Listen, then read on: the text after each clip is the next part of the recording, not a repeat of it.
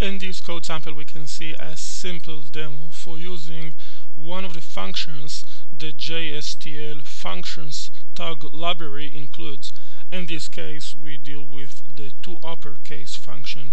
Here we can see a call to that function passing over the string ABC, small letters, and the outcome when we execute this code is the ABC string, only that letters are capital ones.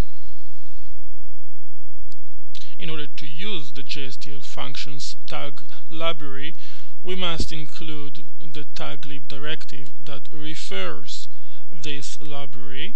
We can specify any prefix we want and once this taglib directive is added to our code there is no problem using those functions the JSTL functions library includes.